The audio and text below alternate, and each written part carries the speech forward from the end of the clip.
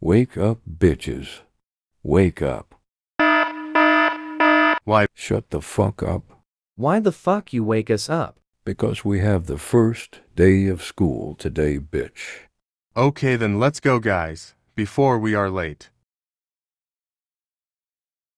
I think the bell is about to ring. That means we are not late. What's your name, teacher? Mr. G, go sit down. Okay. Any questions? Can I go to the bathroom? Sure. Never mind. What happened while I was gone? Everyone were fighting and stuff. Then they all ran out. The school, we were waiting for you. Yeah, that's what happened. Oh, okay, let's go now. Let's chill, guys. Okay. okay. Good Good night. night.